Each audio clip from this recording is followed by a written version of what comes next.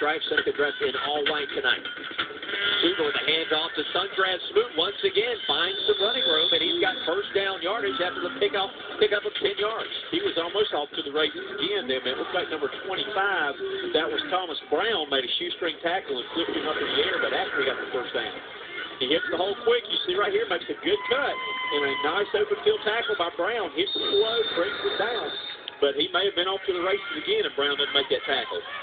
The Woodmont Wildcats looking for their first victory of the season. Sundress Smoot so far tonight, five rushes, 81 yards, and the all-important touchdown just a few moments ago, and he gets the call once again. Straight ahead, has 10 yards and another first down for the Wildcats. And once again, Brown has to go down and hit him low to save the touchdown again, though. But they found something getting the ball to Smoot. Up the middle right here, giving a straight handoff. Good blocking up front.